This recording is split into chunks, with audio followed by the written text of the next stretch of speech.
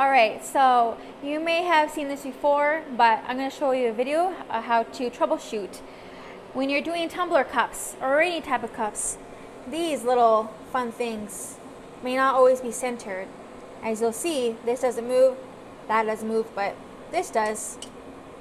So in this video, I'm going to show you how to fix that. So I have this little jigger in here, and I'm going to tighten it first.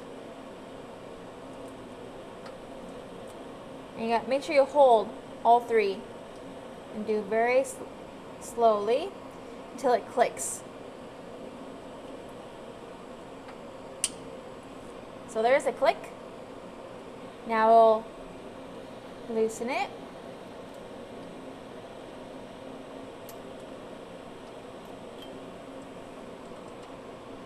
Now they're all tight. We also want to make sure that these are flush so that we know both, all three of these are even. You'll see that they're all going in inwards right now.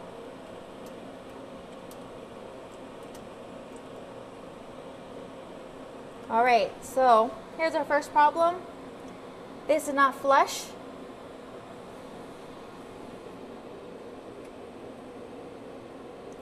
And these ones are sticking out by one notch.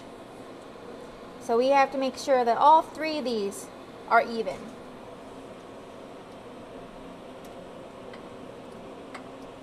So now I'll go the opposite direction so I can get more two more clicks.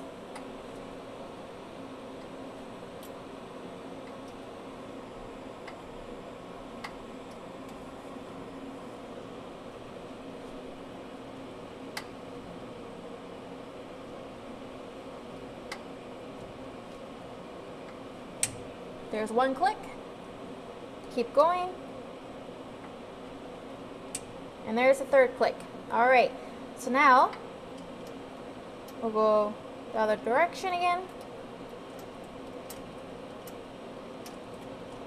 And now we'll see if they are even, if they're flush. All right, so that's flush, that's flush, and this is flush.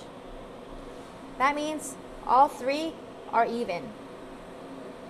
Now you can proceed with engraving your tumbler.